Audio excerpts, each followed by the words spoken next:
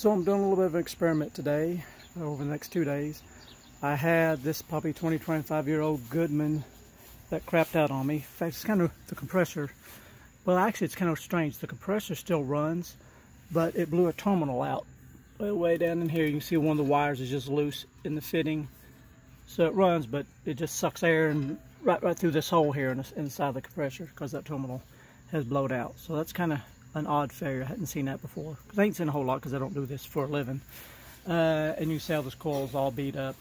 First I had the idea, I thought, well, let, let me see what the price of a new compressor is, put a compressor in it. But dang, a compressor now is like 800 bucks for a two-ton compressor.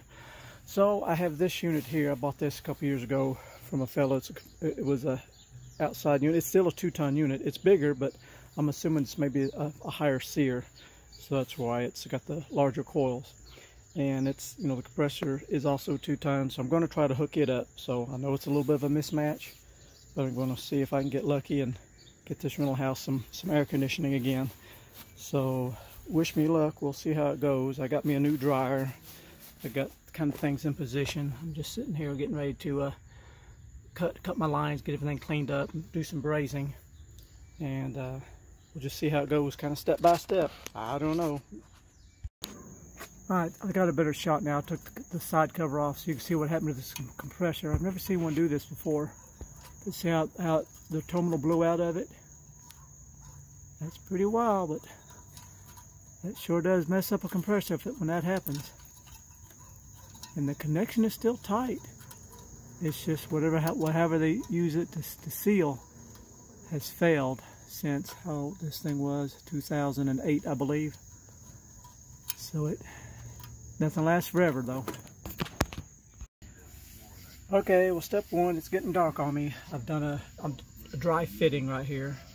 Got my lines connected up, a couple of couplers, put me in a new dryer.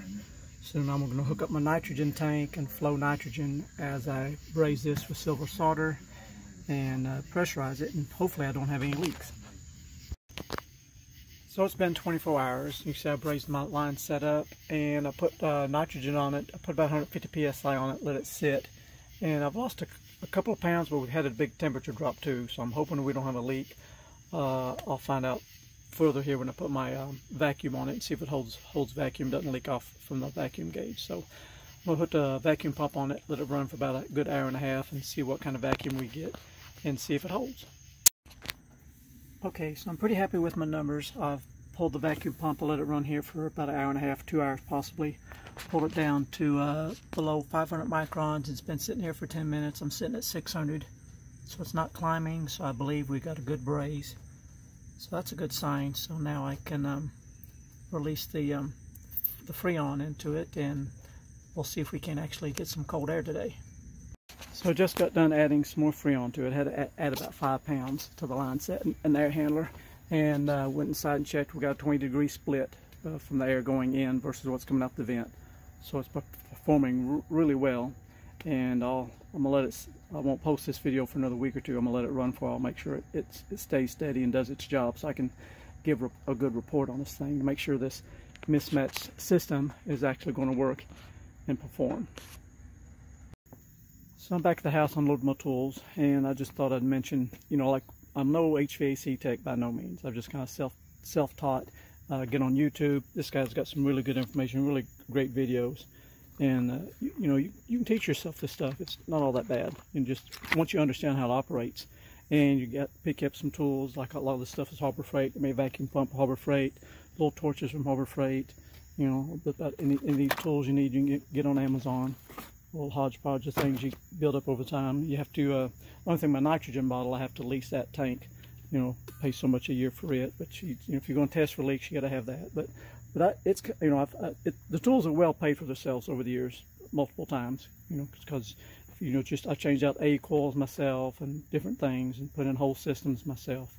So uh, if you you got the time and the, and the effort, you can teach yourself this stuff and uh, save yourself some monies. And if you enjoy learning new stuff, it's something new to learn. So it's time for an update. This two and a half ton outside unit that I plumbed into a two ton unit is working just fine. It's been, and now after three weeks of runtime, I've come back and put in a hard start kit. oh, hang on, got a lot more coming. Okay, because uh, the age of this unit, this one, that what I replaced, the one that, that one, that, that one in the back of the truck, that's the one. I think it's. Hang on, let's see exactly what year it is. Uh, hang on. Yeah, there it is, serial number 97. So I believe that's a 1997 model. Um, that's, that's the amendment blew, blew, blew the terminal out of it. This one being a 2008. Now, what's, what's unique, when you look up the, the model number on this, the, wherever the model number is, there it is back here. So when you look up that model number, it comes up a two and a half ton. But when you get the numbers off the compressor, it's actually a two ton. So I'm assuming maybe they that's just they give it a higher SEER rating. It's kind of strange that that it doesn't exactly match, but that's what it is, and it is working. That's all that matters to me. But back to the hard start kit because this thing is about 14 years old. I'm going ahead and put a hard start kit in. I've been doing that to a lot of my uh, older units before the compressors blow. I'm going ahead and whenever I tune one up, I'm getting aware whenever I tune one of these up, uh, I go ahead and put a hard start kit on them because they're getting old. And I'm hoping that'll prolong the life of them. I do have a video step by step uh, on how to install these hard start kits. I really recommend them. Okay, so while editing this video, I wanted to add some more information for you. I didn't realize, but actually it's been over a year. I looked at my, my timestamp when I did this video. Here's my file, 2022 0724. So it's been over a year and it's been running fine. So I was able to put this two and a half ton in place of a two ton unit and it's been working great. Uh, this is on a uh, four bedroom house, well, three bedroom with an add-on, uh, but it's been performing great. Keeps the house 69, 70 degrees and the renter's just tickled to death. And I am too. I'm just shocked that it's lasted this long. So I'm just amazed. I mean, if it, if it only, it's lasted a year, so I'm, I'm more than pleased. So I wanted to point that out. So it is it is still going. If someone tells you that you can't mismatch a system, well, you can. Because what was it? I'm trying to remember the year on this. There's like five or six years difference between the two models. It works just fine. Something else I wanted to point out is um, my, on my YouTube channel, I got this video. I'm gonna put a link onto it. If you happen to be a landlord or do-it-yourselfer and you've you've got a heat pump or air conditioning unit that's already 15, 20 years old, do yourself a favor. It, it may prolong the life of your unit by installing one of these compressor savers, 521. But I'll send the link to you. Got to be careful. There's some counterfeits out there. Uh, these usually run around 35 bucks for the real deal. And what else was I wanting to point out to you? One more video. Yeah, this one here I did kind of a step-by-step -step install. This is a two-ton unit. Uh, uh, you can you know you can buy these things online and save yourself some money.